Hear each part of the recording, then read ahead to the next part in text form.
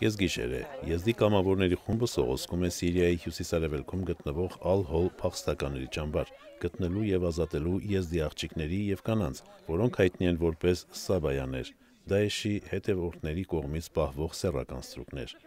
Իսլամական պետություն խմբավորման անկումից հետո այդ ճամբարում տեղավորվում էին ինչպես Դաեշի կողմնակիցներին, այնպես էլ զոհերին։ Կինոռեժիսոր Հոգեր Հիրորին թարգմանչի միջոցով պատմում է, որ Սաբայա վավերագրական ֆիլմը նկարահանելու համար մեկնել է վտանգավոր գոտի, զինված ատրճանակով եւ տեսախցիկով։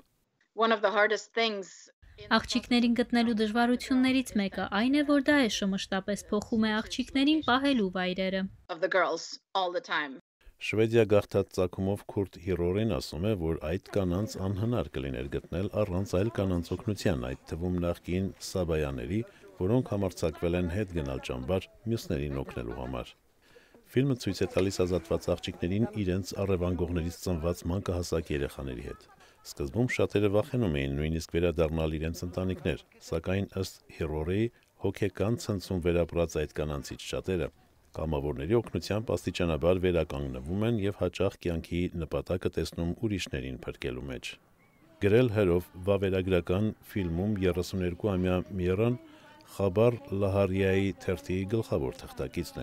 Ռեժիսորներ Ռինդու Թոմասը եւ Շուշմի Գոշը ներկայացնում են, թե ինչպես են այդ կանայք մարտահրավեր նետում Հնդկաստանի կաստային կոշտ համակարգին։ I mean,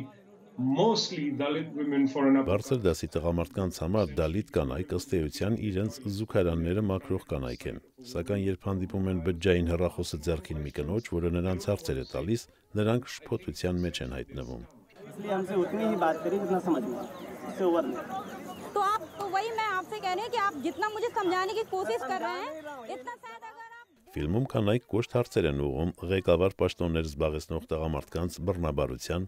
կոռուպցիայի եւ փոքրամասնությունների ճնշման վերաբերյալ։ Կանանցից ոմանք ունեն միայն տարական կրթություն, մյուսները լրագրություն են սովորել։ Շատերը ամուսնացել եւ մայրացել են բավական երիտասարդ տարիքում։ Ռեժիսորների խոսքերով չնայած Ութար Պրադեշում տիրող հայրիշխանական բարքերին, այդ կանայք վայելում են իրենց ամուսինների եւ հայրերի աջակցությունը։ Ահա նրանց առօրյան։ Գնացքով մի քանի ժամ գնալուց հետո նստում են ավտոբուս, ապա շարունակում են ճանապարհը ռիկշայով։ Այնուհետև ոտքով գնում են մոտ 2-3 ժամ, որ เป զի հասնեն գյուղ, որը նույնիսկ գոյություն չունի քարտեզի վրա։ Այդպիսի երթուղին ինքնին կարող է կոտրել մարդու ոգին։ Իրենց տեսախցիկներով զինված այդ կանայք հաղթահարում են պատնեշներ։ Նրանք զորեղ են, հուշկու եւ անվախ։ Նրանց ստեղծած Խաբար Լահարիա թվային լրահարտակը ունի 150 միլիոն հետևորդ եւ այդ թիվը գնալով աճում է։ Ամերիկայի ձայն Վաշինգտոն